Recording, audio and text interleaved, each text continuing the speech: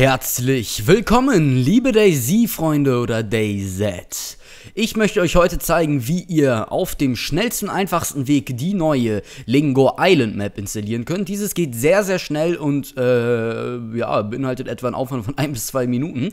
Und dazu wird der Daisy Commander benötigt. Diesen könnt ihr ganz einfach über den Link öffnen, der unten in der Description von mir steht, oder ihr gebt es einfach wie ich und bei Google ein. Der erste Link wird es sein. Auf der Seite angekommen, drückt ihr natürlich um auf Download. Guckt einmal ganz runter, wo ganz dick steht Get Daisy Commander. Dort klickt ihr herauf, hinauf, wie auch immer. Dann öffnet sich bzw. ladet ihr erstmal äh, den Commander herunter. Diesen installiert ihr ganz normal, was ich natürlich schon getan habe. Habt ihr so ein schönes Desktop-Symbol und öffnet es dann öffnet sich dieses Fenster. Am Anfang nicht wundern, da steht Refreshing Server, da werden alle Server nochmal überprüft, gehen hier lang, wie man lustig ist, ne? Spieleranzahl, bla bla bla bla bla, Version, etc.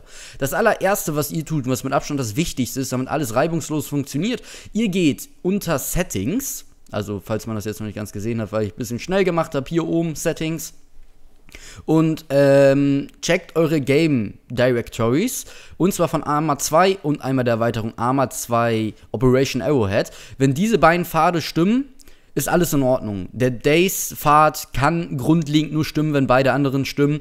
Und dann müsst ihr daran nichts ändern. Denn dies ist eine Grundvoraussetzung, dass der Commander grundlegend richtig funktioniert. Aber wie gesagt, im Normalfall erkennt er alles von alleine. Das war bei mir so und zig anderen Freunden, denen ich das gezeigt habe. Also macht euch da keinen Kopf. Ansonsten macht ihr Override und dann könnt ihr ihn ändern. Ne? Also sollte kein Problem sein. Dann drückt ihr auf Done. Nun seht ihr oben bei mir in gelber Schrift Install Update. Das heißt, irgendwofür ist ein Update verfügbar. Da gehen wir doch mal rauf. So, was sehen wir nun? Oh, eine neue DayZ-Version ist rausgekommen. Sehr schön. Auf jeden Fall grundlegend möchte ich hier jetzt erstmal alle drei, ähm, sage ich mal, Buttons erklären. Und zwar überwacht der DayZ-Commander ganze drei sage ich mal, Schritte des Spiels, beziehungsweise grundlegend wichtige Elemente. Unter anderem der Beta-Patch. Ja, wie lästig war es das doch noch, mit dem ähm, Six-Launcher immer nach den Beta-Patches zu suchen, da er sie automatisch nicht erkannt hat. Und ähm, da muss man immer ein bisschen vorsichtig sein, da diese Beta-Patches immer relativ, sage ich mal, regelmäßig rauskommen. Häufig steht da halt von wegen, ja, neue Beta-Patch ist verfügbar. Das Wichtigste, was ihr dann tun müsst, ist, ihr guckt erstmal rechts, Servers are running. Was so viel heißt, wie viele Server laufen mit welchem Beta-Patch. Da solltet ihr so lange auf dem Beta-Patch verharren, wo die meisten Leute drauf spielen. Das ist nicht immer der neueste. Es dauert dann mal ein bis zwei Tage, bis die ganzen Server nachupdaten, etc. Also ist es nicht schlimm, wenn äh, das hier mal no, äh, gelb unterlegt ist und der Daisy Commander sagt, hey, pass auf, update das bitte. Es ist aber relativ egal, ihr könnt immer noch ohne Probleme spielen. Momentan die neueste Version, die 96584 bzw. Schrägstrich 85. Ne, ist sowohl die 8.4er als auch die 8.5er Version. Sehen wir rechts, laufen 50% aller Server. Sehr schön, besser können wir es doch gar nicht haben. Also sonst könnt ihr einfach Reinstall machen oder einen anderen auswählen, wie ihr lustig seid, einfach auf Install drücken. Dann wird der andere gelöscht und der neue draufgespielt. Also problemlos läuft das ab, einfacher als jemals zuvor. Dann seht ihr, bei mir ist gerade die neue Daisy-Version verfügbar. Steht sofort out of date. Ich check wieder die Liste ab. Die meisten Server 1.7.6, 1.7.2.6, also 44% aller Server laufen mit der neuesten Version. Alles klar, drücke ich auf Install. Das kann er jetzt nebenher runterladen und machen, wie er möchte. Äh, passiert gleich auch wieder alles von alleine. Und nun das, worum es letztendlich ging: Daisy Lingor. Ihr drückt einfach auf Install. Es, ja, das war's. Der lädt die Map runter, sie ist ein bisschen größer, 550 MB, wenn ich mich nicht täusche. Er installiert sie von alleine. Wie gesagt, es dauert ein bisschen, nicht wundern. Und dementsprechend könnt ihr danach sofort Daisy Lingor spielen, das ist dann gar kein Problem. Müsst halt nur aufpassen, dass ihr A nach richtigen Servern sucht und ihr dürft euch nicht wundern, dass es Mittlerweile gibt es zwar ein paar mehr Server, aber alles in allem, ähm, ja, hält es sich ehrlich gesagt noch in Grenzen. Und die meisten Server laufen auch noch nicht ganz so stabil, aber trotzdem ist es eine klasse Map, die man einfach installieren kann. Es schadet nicht, man kann sie ausprobieren, es ist etwas Neues, macht auf jeden Fall sehr viel Spaß. Und das war's eigentlich. Wenn jetzt jemand ähm, nicht mehr sehen will, den Days Commander selber erforschen möchte oder da jetzt nicht mehr großartig viel erfahren möchte, schaltet jetzt einfach ab, denn jetzt war's das. Ihr weißt jetzt oder ihr habt jetzt gesehen, wie man Daisy Lingo installiert. Jetzt gehe ich noch auf grundlegende Mechaniken des Daisy Commanders ein und zwar wie man richtige Server, sage ich mal, findet, wie man das alles einstellt, wie man Favoriten hinzufügen kann und sogar Freunde und was der Daisy Commander sonst noch für schöne Features mit sich bringt. Also der Daisy äh, die Version wird ja jetzt gerade installiert. Ich drücke jetzt einfach mal dann. Ich kann ja nebenher trotzdem alles machen, was ich möchte. Und dann gehen wir doch erstmal grundlegend unter Servers auf den Serverbrowser ein. Ihr könnt hier natürlich den Ping einstellen. Da müsst ihr eine Grenze für euch finden, was in Ordnung ist. Ich würde mal sagen, im Normalfall sollte 150 das höchste sein, was ihr da angebt. Da es aus dem Grund zu empfehlen ist, dass das Spiel bis dahin noch halbwegs flüssig läuft. Deswegen ist der Ping auch noch grün untermalt. Alles darüber hinaus führt zu unschönen Lags. So, dann der nächste Punkt, der Survivor-Count. Das ist, wenn man Englisch kann, eigentlich schon selbst erklärend. Hier könnt ihr einstellen, wie viele Spieler auf dem Server sein sollen. Ihr seht, die Server werden direkt geupdatet. Also von äh, 0 bis 128. Kann man machen, ist natürlich wieder Geschmackssache. Ich bin mehr so einer, der nicht so gerne mit so super vielen spielt. Also mir reichen im Normalfall sage ich mal, am guten Abend 25 Leute und es sollten schon mindestens 5 drauf sein. Dann äh, könnt ihr sagen, dass ihr halt ne, nicht voll sein soll. Also für Server, die direkt komplett voll sind, sollen ausgeblendet werden und welche, die halt leer sind. Hier unter könnt ihr direkt auswählen, welche Mod er suchen soll. Er kann beide Mods suchen, wenn ihr das wollt, also Any Mod, sowohl Daisy Only als auch Daisy Lingor Island. Oder ihr sucht nur nach Daisy Mods oder Daisy Lingor. Ich habe momentan Lingor eingeschaltet, weil ich dieses Mob, Map, Mob, schön wär's, Map halt erkunde und äh, dementsprechend, ja, spiele ich momentan halt diese Karte lieber. Dann kann man hier jetzt sagen, welche die geschlossen sind, also ein Passwort haben, sollen ausgeblendet werden, welche die nicht unoffiziell sind. Äh, ja, muss man wissen. Unoffiziell sind, glaube ich, alle. Ja, das ist letztendlich das Problem. Richtig offizielle Server gibt es, glaube ich, gar nicht. Und welche mit einer falschen Armor- oder Day-Z-Version, äh, das heißt, ich mache jetzt hier Wrong Armor Version, er zeigt mir nur noch welche an, auf die ich joinen kann. Denn hier im Fenster seht ihr, manche sind äh, dunkelgrau unterlegt.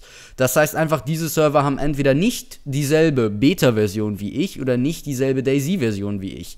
Das heißt, folglich sollte man auf diesen Server nicht spielen oder kann es höchstwahrscheinlich auch gar nicht. Also kann man ruhig einstellen, dass man ja die falschen Arma 2 Version und Daisy Version ausblendet.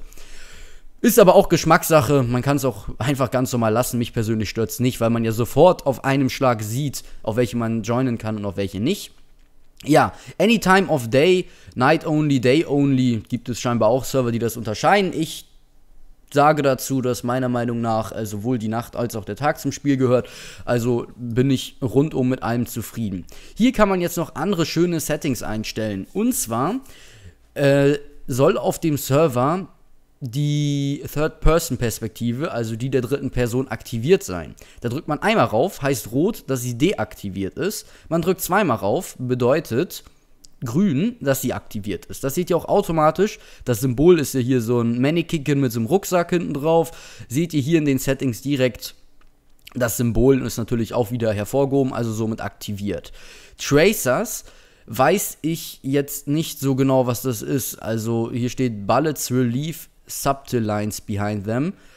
Ähm, ich habe das, glaube ich, noch nie gesehen oder so ein Kram. Ich weiß jetzt nicht, gibt es davon Server? Ich habe da ehrlich gesagt noch nicht nachgeguckt. Ein Server. Ich weiß jetzt nicht, was das genau macht. Hinterlässt denn äh, der Schuss eine Spur, also das Projektil? Ich habe keine Ahnung.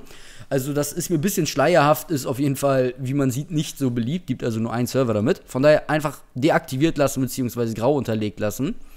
Dann äh, Nameplates ist relativ beliebt, sage ich mal. Das ist, wenn man eine Karte gefunden hat, dass sowohl Gegner, Zombies und unter anderem die eigene Position auf der Karte verzeichnet wird. Relativ hilfreich. Das bedeutet nämlich dieses schöne Symbol, also ne, das N, was hier jetzt auch bei vielen Servern aktiviert ist.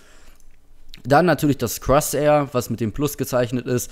Soll so viel bedeuten halt, ob das Crosshair im Spiel ja, implementiert ist oder eben nicht. Viele Server haben es ja deaktiviert, gerade die Hardcore-Server bzw. die Veteran-Server. Und Death Messages muss ich passen. Ich habe keine Ahnung, was das sein soll. Es ist aber scheinbar überall. Ach so, ah, ich habe mir noch nie den Text darunter durchgelesen. Allows you to see when any other Survivors die on your server. Ja, gut, ich meine, ist jetzt eigentlich immer überall aktiviert, kann man auch einfach so lassen. Ich meine, sieht man ja grundlegend eigentlich auf jedem Server, dass einer stirbt. Ist auch total unwichtig, sage ich mal. Naja, Geschmackssache. Jedenfalls könnt ihr hier endlos eure Filter einstellen, wie ihr lustig seid. Dementsprechend werden immer die Server automatisch aktualisiert. Und was relativ gut ist, man sieht meistens immer die Uhrzeit des Servers wenn diese sich von der normalen Zeit unterscheidet. Automatisch wie viele Spieler. Wenn man raufgeht, sieht man sogar automatisch alle Spieler. Das heißt, ihr könnt gucken, ob euer Kumpel da drauf ist oder ich oder sonst wer. Dann halt der Ping wird angezeigt und wenn man länger genug über einen Server rübergeht, wie ich jetzt, steht sogar automatisch die IP, wenn man diese mal einen Kumpel weitergeben möchte. Wenn ihr hier jetzt auf das Sternchen klickt, wird der Server automatisch zu den Favoriten hinzugefügt, wie man sieht. Jetzt habe ich sechs Favoriten. Hier sind alle von euch gespeichert. Ihr könnt automatisch halt welche, wie eben erwähnt, auch über die IP hinzufügen. Äh, ja, finde ich sehr, sehr simpel gemacht und sehr, sehr geil. Das heißt, man kann Server nicht aus den Augen verlieren. Finde ich grundlegend einfach besser gelöst als beim Six Launcher. Und ja, wenn man wieder auf das Sternchen drückt, sind sie natürlich einfach wieder weg. Blopp. Also ist ne Geschmackssache, muss man wissen, wie man es möchte. Auf jeden Fall sehr, sehr gut gehandhabt. Freunde kann man auch hinzufügen. Dann sieht man auch diesen, deren Version, den Settings, äh, ne, auf welchem Server die sind, wie auch immer. Aber ich stieg da bislang noch nicht ganz so durch. Ich könnte jetzt einfach mal Dirk eingeben. Jetzt zeigt er mir, glaube ich, zwei Dirks an. Entweder, das weiß ich eben nicht so ganz, ob der Server so heißt oder spielt da jetzt einer drauf, der Dirk heißt. Weil ich habe mal nach einem Kumpel geguckt der, den habe ich so darüber hinaus nicht gefunden. Also ich denke mal, es ist noch ein bisschen buggy, aber wäre auf jeden Fall sehr, sehr witzig, wenn es irgendwann mal funktioniert, dass es eine schöne, eigenständige Freundesliste gibt und man so schnell Freunden hinterher joinen kann, etc. Ansonsten, wie gesagt, wenn ihr mich finden wollt, ich heiße halt die Hahn, könnt ihr gerne nachsuchen, könnt gerne mal eine Partie zusammen spielen, sofern man mich halt findet. Ich glaube, ich selber finde mich nicht mal. Vielleicht muss ich auch gerade aktiv auf dem Server spielen, ich weiß es nicht so genau. Naja, alles in einem war's das. Grundlegend zum Daisy Commander. Ihr habt Fragen oder sonst etwas, hinterlasst mir einen Kommentar oder eine private Nachricht. Ansonsten wünsche ich euch viel Spaß mit dem Daisy Commander und natürlich der neuen Daisy Lingor Island Map. Ich verabschiede mich von euch. Noch einen schönen Tag.